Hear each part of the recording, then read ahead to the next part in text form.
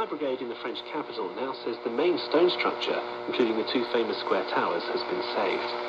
Italy's largest bank, Unicredit, has agreed to pay $1.3 billion to settle charges that it violated United States sanctions related to the proliferation of weapons of mass destruction. A statement from the US Treasury said Unicredit processed transactions in apparent violation of US sanctions against six specific countries, including Iran, Cuba, and Syria. And the cellist Yo-Yo Ma has been playing the music of J.S. Bach at the US-Mexico border. He used the performance in Laredo, Texas, to make a statement on immigration. Thank you. Over the last few months, and indeed the last few hours, the story around Volkswagen, the car giant, has been emissions. In the last couple of hours, it's changed to politics. The new head of Volkswagen has told the BBC he is not proud of his company's association with the Chinese government amidst detention of thousands of Muslim minority people in the rest of the country. Government officials in China have recently confirmed the existence of what they called re-education camps part of anti-terror measures. The German car giant opened a manufacturing plant there six years ago. Robin Brant is in Shanghai.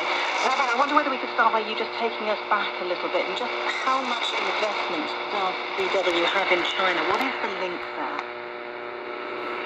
Well, the German car giant has been here since the early 80s. It was a pioneer in terms of uh, investment, and it's done very well here. Um, it has been producing cars since 1995. It's been producing cars in Xinjiang in the west since uh, 2013. Now, look, it's not the only foreign firm with a presence in Xinjiang, like many uh, others, it is reluctant to talk about it, particularly over the last uh, few years when uh, China has faced uh, accusations about its forceful detention of thousands and thousands of its own people, Muslim Uyghur minorities, as part of counter-terror measures.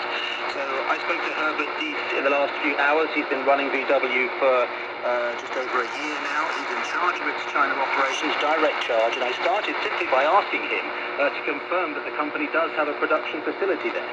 Does VW have a production facility? For sure, for sure, and we are happy to have this. And are you proud to be associated with what China is No, but we are proud, we are proud, You're not and we are absolutely proud to also create workplaces in that region, which we think is very useful. Robin, there is a, a, a, seems to be a total disconnect there. He's not found, and yet he is proud to be there. Uh,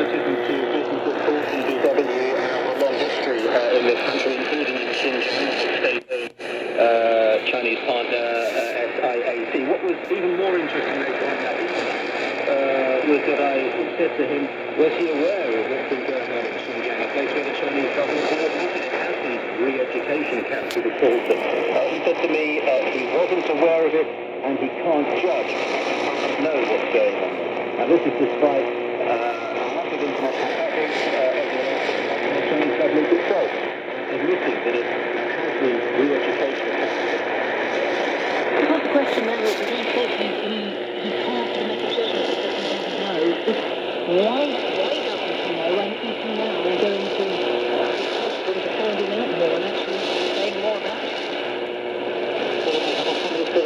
Pakistan, Imran Khan. That had very close economic ties with China. He said he wasn't aware of what was going on in Xinjiang, even more significant for him, of course, because Pakistan is a, a, Muslim country. The contradiction for me was that uh, said, under forceful questioning, practically, uh, proud of VW's associations with the government in Xinjiang and what was going on there, and then said uh, he wasn't aware of it. Uh, he couldn't judge. So that to me seems uh, incongruous. It seems strange that a person of his prominence and high profile, this is a man in charge of a company that is the biggest automotive manufacturer, a long history in China. He now has direct control over VW's operations in China, yet he claims not to go, not to know what's going on in, in Xinjiang, a location where they have a production facility. I'm sure this will not be the last time that we're speaking about this. Robin Brant from Shanghai for the moment. Robin, thank you very much.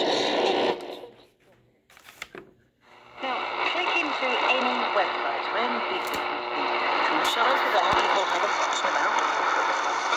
People values, care for the environment.